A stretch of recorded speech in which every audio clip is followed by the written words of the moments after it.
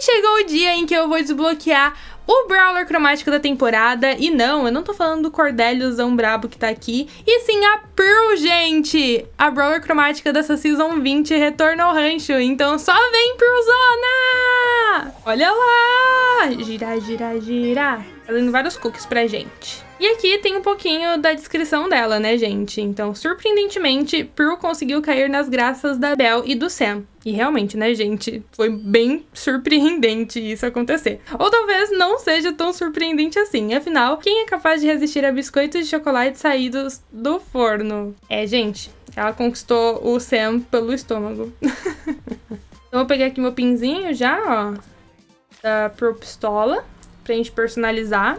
E vamos então selecionar essa garota. E eu vou desbloquear até o poder de estrela dela. Vamos ver se a gente consegue. Vamos lá pro... E já foi, né? Já. Vou pegar esse daqui. Poder de estrela. E o acessório vamos no primeiro também. Então, primeiro poder de estrela e primeiro acessório. E com isso eu acabo com as minhas moedas. Mas tá bom. Agora ela já tá aqui um pouquinho mais forte pra gente testar. E vamos jogar com essa garota aqui. Nossa, eu achei legal, não tinha reparado isso. Vira um timer o olhinho dela, vocês viram? Mas beleza, vamos lá então. Vamos de Brawl mesmo. Pra testar essa Brawler aqui que deu muito o que falar, né?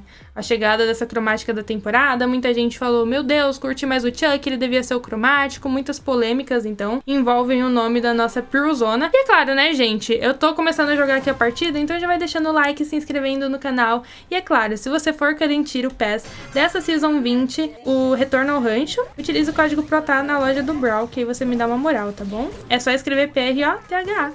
Então, ó, já tô aqui.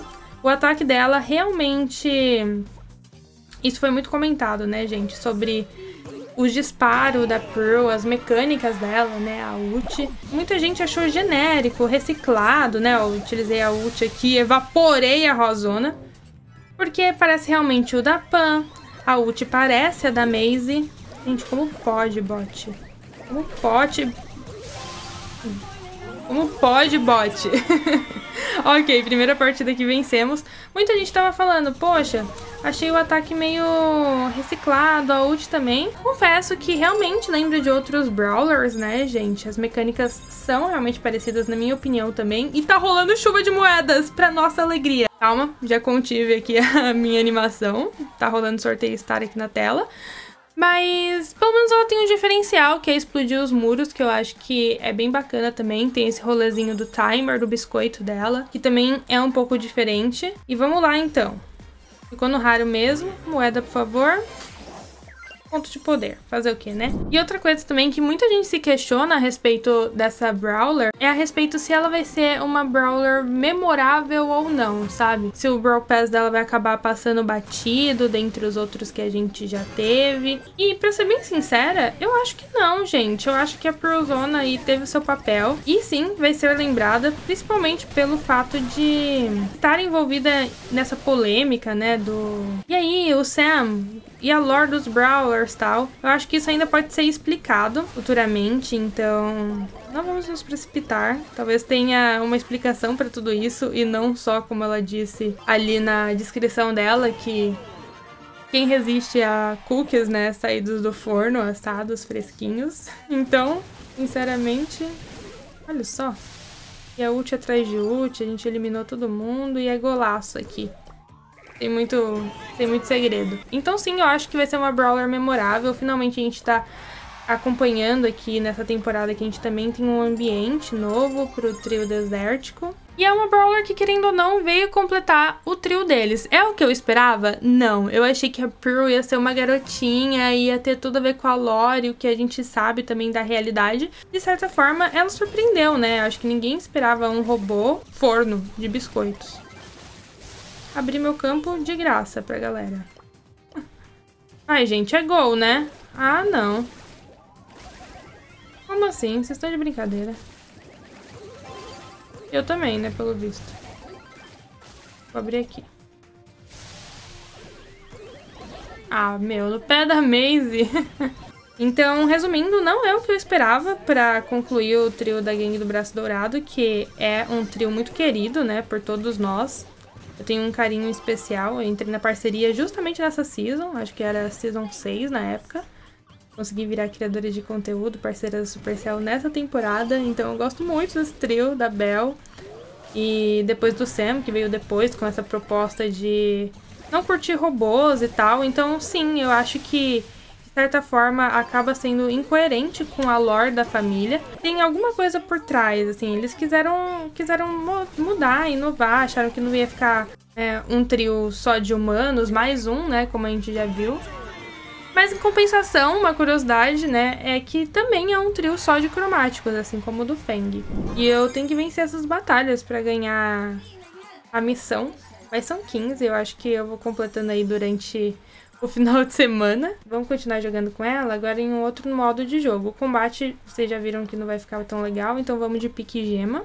E eu acho que, assim, é, vale a pena vocês quebrarem um pouco esse preconceito, sabe? Eu vi muita gente que viu o Brawl Talk e julgou, de certa forma, a Brawler sem nem antes ter jogado com ela. O design dela também é diferente, né? Eu, sinceramente, não esperava que um forno, tá? E o rolê do timer e tal. Então eu acho ela bem forte, eu acho que o poder de estrela, esse daqui que eu peguei, e o acessório é bem interessante, principalmente esse acessório aqui, que dá um dano contínuo, você vira tipo um crow. De forma alguma eu tô falando que eu não entendo, eu também compartilho até de algumas opiniões, mas eu acho que tem muito preconceito envolvido com a Brawlerzinha.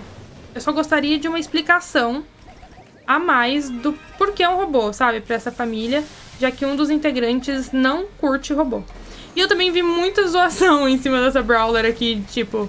Não, ela é um robô genérico, ela é um rico vestido de forno, sabe? É a mesma cabeça do rico, podiam ter trocado a cor do olho e tal e coisa do gênero. E, pra ser sincero, assim, eu acho que não tem muito para onde fugir, gente. Os robôs do Brawl, em geral, são representados dessa maneira, né? Olhem o Rico, o Stu. A Nani sai um pouco da curva. Inclusive, eu acho que a, é a segunda robô mulher que a gente tem no jogo. Antes a gente só tinha a Nanizinha. E isso é algo também legal para ressaltar. Talvez dessa carência de personagens desse estilo, eles quiseram trazer a Pearl. E eu curto essa personalidade dela, de ajudar, cuidar mesmo, essa coisa do carinho, do cuidado. Vocês viram que quando eles estavam na pior, no, no teaser aí, na animação dessa season, dessa temporada, ela que tava lá carregando os dois pegando no suspensório do Samuel, encarou a bronca e tirou eles ali do Chuck e do Bull também. Então, eu, eu acho legal eles trazerem isso pra ela. Olha aqui, a Belle. assim como a Maisie, por exemplo, do trio do Feng lá, e do Buster, né, o trio do, do cinema, ela também foi pensada um pouco pra isso, né? Ai, caraca, tem na ult. É o primo! Gente, por que o homem pulou pro outro lado? Ele podia fazer um strike ali. Vai sair daí não, Bela. Tá aqui. Galera ali. Beleza, amor indestrutível. A gente não pode fazer lá muita coisa. Meu Deus, ele vai usar essa bomba. Opa, e usou certinho ainda. E deu 10, hein? O primo, você não morre não. Ele pulando numa distância mínima. Ah, meu, tô de brincadeira que o cara morreu. E assim, eu não acho ela uma brawler ruim de se jogar. Eu acho bem tranquilo, assim, não tem muito segredo, pra falar a verdade, né? E é bem interessante essa coisa dela destruir os muros aqui, que eu acho que é o grande diferencial da Brawler, né? Porque realmente o ataque e essa questão da explosão, a gente já vê no jogo em outros Brawlers, né? Em outras mecânicas. Mas até o momento eu tô achando divertidinha. E épico! O que, que vem aí, hein? Nanana. Moedas, tô precisando, né? Agora ainda. Tem o Squeak. Ah, da Jack! Meu Deus! Meu Deus. Jack furadeira por 79 gemas. Quero! Olha esse Spike roubou por 79 também. Gente! Aí, ah, agora também tá aqui, né? A hipercarga da Pearlzona na loja. De moedinhas. Ah, não. Eu quero muito. Por que que meu código saiu, gente? Utilizem o código PROTAR. Vamos para mais uma partida de... Ai, vamos de encurralado para ver como ela se desempenha? Vamos ver no que dá. Modo de jogo que fazia muito tempo que não aparecia no Brawl, né? Voltou aí agora nessa temporada. Ganhou a votação, né? E chegou. Vamos lá. Tô eu... Eu ia falar uma pan, mas é um... Um gronzão. E uma...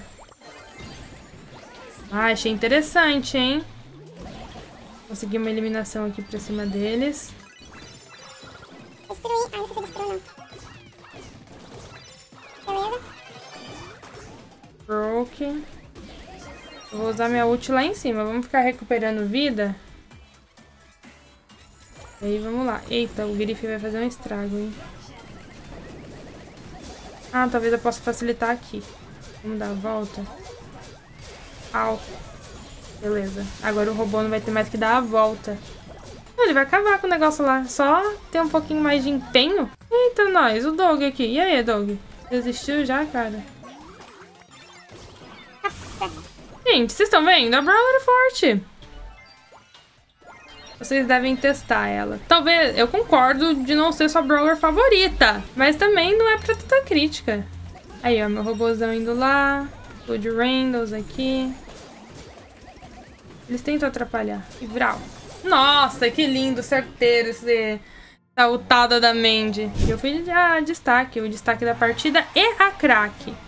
Desculpa, pessoal, já vi que a Pearl se dá bem aqui nesse modo de jogo, principalmente porque tá aberto ali também. Mas é isso, gente! No primeiro momento, essas são as minhas impressões com a Pearl.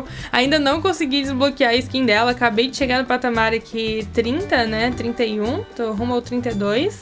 E espero que vocês tenham gostado do vídeo. Comentem aqui suas impressões, se vocês concordam comigo ou não. Se já desbloquearam a Pearl, se vão comprar esse pass. Comentem aí que eu vou estar lendo tudinho. Também deixa o like nesse vídeo. Se inscrevam no canal. Utilizem o código pra estar na loja. Ou na plataforma da Supercell, caso você for comprar gemas. Que por lá você garante mais benefícios. E eu vou ficando por aqui. Essa é minha deixei. Tchau, tchau!